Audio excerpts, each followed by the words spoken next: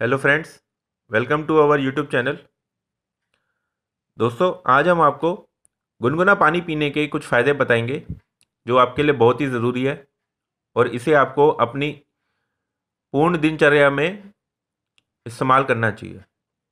दोस्तों, गुनगुना पानी पीने का पहला फ़ायदा ये है कि पाचन के लिए सबसे पहले आप गुनगुने पानी को ही लें।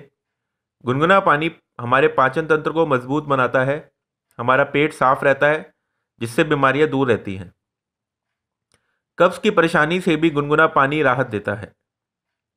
गुनगुना पानी पीने का दूसरा फ़ायदा यह है, शरीर में मौजूद विषैले तत्व हम गर्म पानी पीकर बाहर निकाल सकते हैं। गुनगुने पानी से शरीर में ताप बढ़ता है, जिसके बाद पसीना निकलता है और उसके द्वारा विषैले तत्व बाहर निकल जाते हैं। इसके अलावा ज़्यादा पानी पीने से विषैले तत्व यूरिन व शौच के द्वारा बाहर निकल जाते हैं।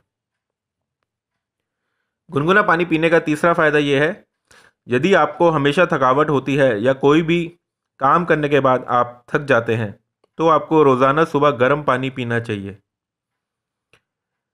गुनगुना पानी पीने का चौथा फ़ायदा यह है, अगर आप अपना वज़न कम करना चाहते हैं तो इसकी शुरुआत गुनगुने पानी के साथ करिए।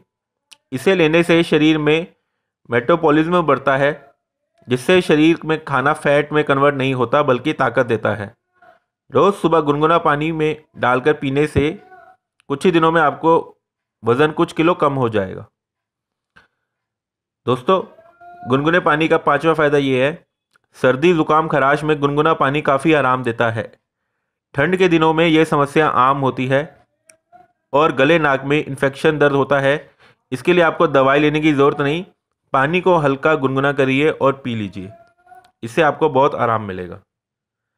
आपको हमारा वीडियो कैसा लगा प्लीज़ नीचे कमेंट करें, हमारे चैनल को सब्सक्राइब करें और इस वीडियो को ज़्यादा से ज़्यादा शेयर करें। धन्यवाद।